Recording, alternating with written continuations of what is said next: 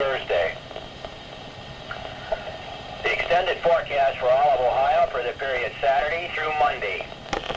A warm front across south. The Cleveland Weather Radar continued to show numerous thunderstorms over the western two-thirds of Ohio and the western half of Lake Erie. The heaviest thunderstorms are now in a scattered line from Lake Erie, 10 miles east of Marblehead, south near Huron to west of Mansfield to near Mount Gilead.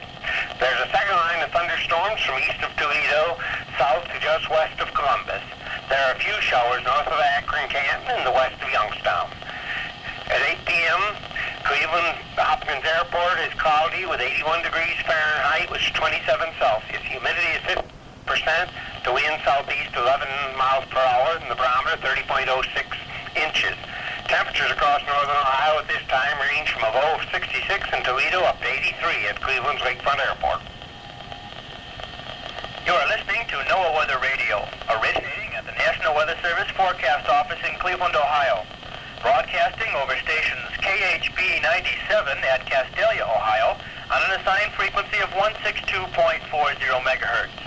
And on station KHB 59 at Chesterland, Ohio, on an assigned frequency of 162.55 megahertz. The forecast for northern Ohio from Lorain County westward, including Sandusky, Port Clinton, Norwalk, and Bellevue. Partly cloudy, warm, and humid tonight and Thursday with a chance of thunderstorms. In the mid to upper 60s. Highs Thursday in the mid to upper 80s. Clear and cooler Thursday night with lows in the mid to upper 50s. Mostly sunny Friday with highs in the low to mid 80s. The chance of rain 50% tonight, 30% Thursday, and 10% Thursday night. Wind south to southwest at 10 to 20 miles per hour tonight and southwest to west 10 to 15 miles per hour Thursday. The the East Lakeshore counties, including Cleveland and vicinity. Partly cloudy, warm and humid tonight and Thursday with a chance of thunderstorms. Lows tonight in the mid to upper 60s. Highs Thursday in the low to mid 80s. Clearing Thursday night with lows around 60.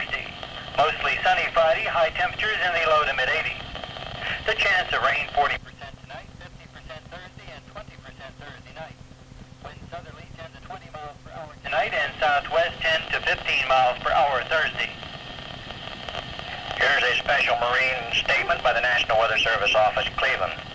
A special marine warning has been issued from Sandusky east to Fairport Harbor until 8.30 p.m. Eastern Daylight Time. At 6.30 p.m., radar showed a couple of very heavy thunderstorms near Sandusky and just north of Huron. The storms were moving east around 25 knots and will move to around the Fairport Harbor by 8.30 p.m. Frequent lightning and heavy rain have been reported with these storms.